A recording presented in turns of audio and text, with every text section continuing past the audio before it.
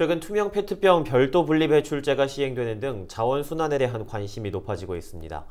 하지만 여전히 분리수거를 번거롭고 어렵게 느끼는 시각도 많은데요. 원주시가 자원 순환에 대한 시민들의 인식을 높이고 관심을 유도하기 위해 도심 곳곳에 재활용 회수 로봇을 설치했습니다. 어떻게 사용할 수 있고 또 어떤 기대 효과가 있는지 이다희 기자가 취재했습니다. 도심 공원 한켠에 음료수 자판기만한 기기 한 대가 등장했습니다. 캔이나 페트병을 넣을 수 있는 투입구와 LCD 모니터, 보관함 등으로 구성된 이른바 순환 자원 회수 로봇입니다. 재활용할 가치가 있는 페트병과 음료수 캔을 기기가 스스로 인식해 수거하고 이용자는 포인트를 적립하도록 설계됐습니다. 네, 다쓴 페트병과 네, 음료수 캔을 투입구에 넣고 휴대폰 번호를 입력하면 하나당 10점씩 쌓여 2,000점부터는 현금으로 바꿀 수 있습니다.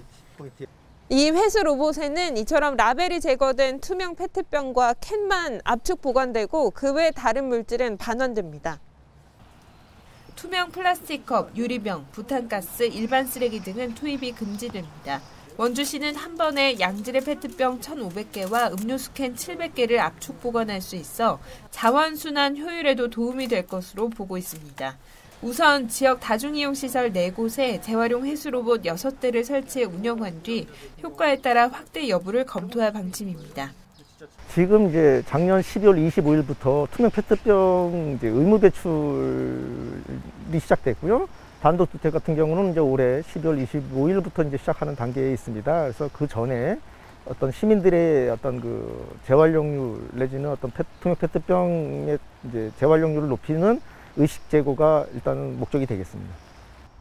순환 자원 회수 로봇은 도내에서도 춘천시가 이미 도입해 해마다 수거량이 늘어나는 등 효과를 보고 있습니다. 다만 올바른 자원 순환 방식을 이해하고 자발적 참여를 유도하기 위한 목적이 큰 만큼 시민의 관심이 무엇보다 중요합니다. 쓰레기도 저금도 하고 또 그런 최고의 기술로 어찌 보면 저희 환경에 또 공헌하는 부분도 많이 있고 그래서 어린이들이 환경에 관심을 가지고 어른들과 함께 어 자원의 순환과 또 이런 그 재활용에 대한 부분들을 원주시는 어린이 체험학습 등 다양한 홍보를 통해 자원 재활용에 대한 시민 참여를 확대할 방침입니다. 헬로티비 뉴스 이다입니다.